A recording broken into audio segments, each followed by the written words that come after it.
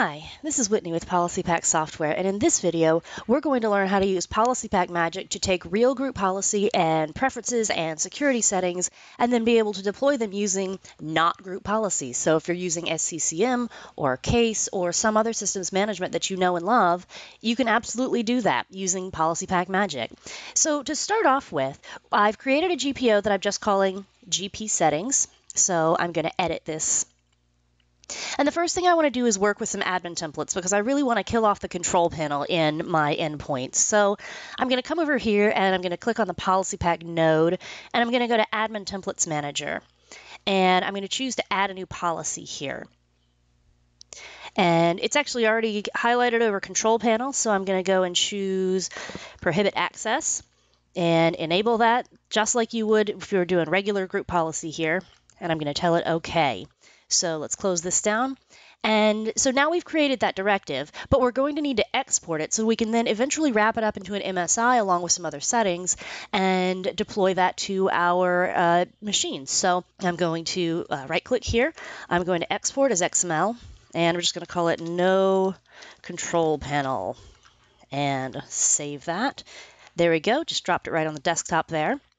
And so the next the next things we're going to do, the group policy preferences and the uh, security settings, are a little bit different. So instead of creating stuff within PolicyPak, the PolicyPak node, what I've actually done is I've done a little pre-pro on this, and I have gone and created a shortcut over on the computer side, and it's just a little PolicyPak shortcut that's going to take you to policypak.com, and the icon is a little butterfly.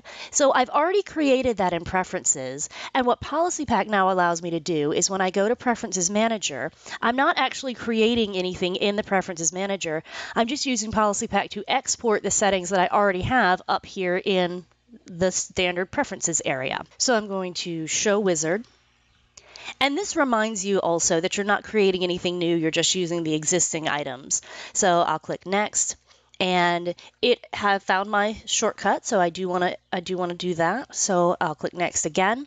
I can change the name of it if I want to um, and I can also uh, add item level targeting if I wanted to do that as well. Um, I'm actually just going to leave everything as it is and click next and let's give it a location. I'm just going to drop it right on the desktop again and there we go. Should pop up right there the last thing we're going to do is these security settings. So I've actually already created a security setting where I rename the guest account.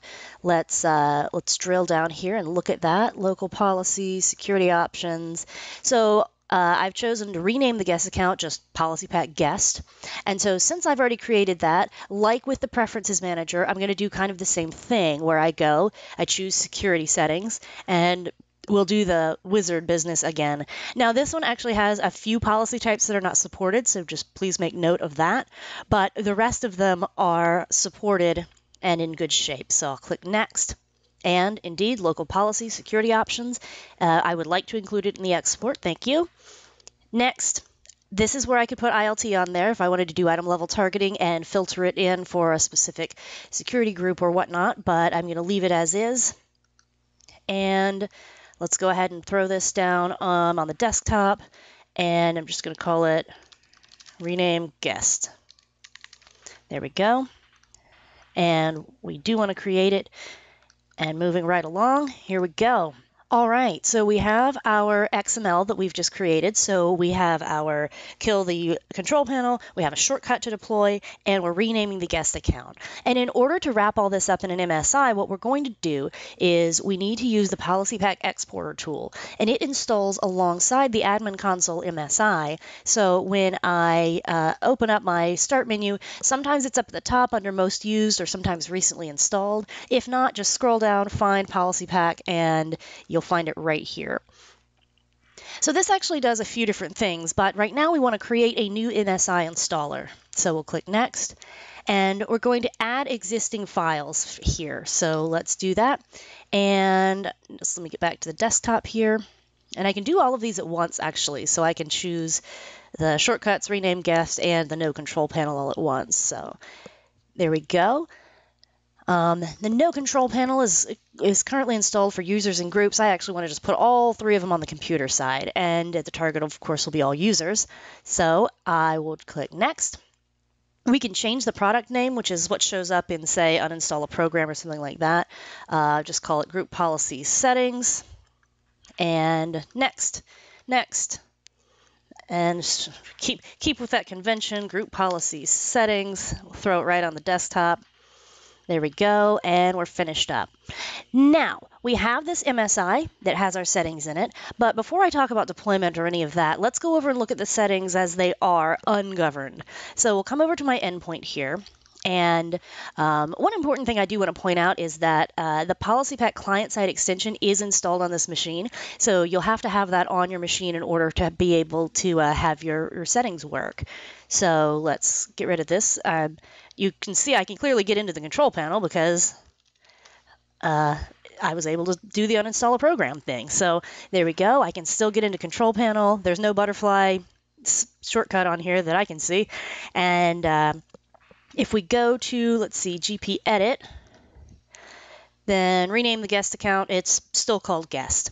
So we're going to hop over here. And for a minute, I need you to use your imagination. I'm going to install this manually, but if you were using SCCM or KACE or Landesk or whatever, um, you would be able to do this and it would all occur silently. So using our imaginations, I'm just going to drop that in my shared folder here and I'm going to hop back over to my endpoint. Let's go, let me go grab my, my shared file here and go over here and just install this real quick.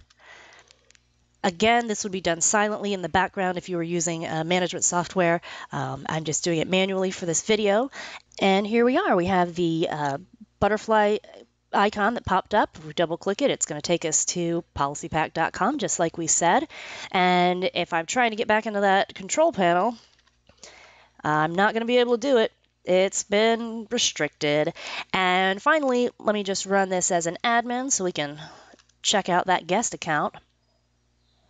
All right, and let's drill down to the Windows settings, security settings local policies, security options, and what do you know, PolicyPak guest. So we were able to deploy, well, create and deploy real group policy. We did the preferences, we did security settings, and we wrapped all that up and we exported that as an XML. We wrapped it all up as an MSI and then deployed it using whatever software you prefer. If that's interesting to you, get in touch with us and we'll be happy to get you started with a free trial right away. And I'll see you in the next video. Thanks for watching. To find out more about how Netwrix PolicyPak can simplify modern desktop security and management, go to netwrix.com slash netwrixpolicypak.